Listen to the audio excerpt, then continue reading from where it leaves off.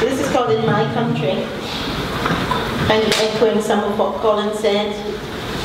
So embodying it, he put it.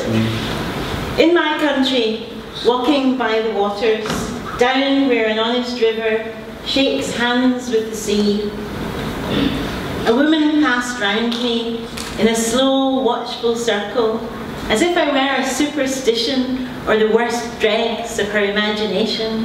So, when she finally spoke, her words spliced into bars of an old wheel, a segment of air.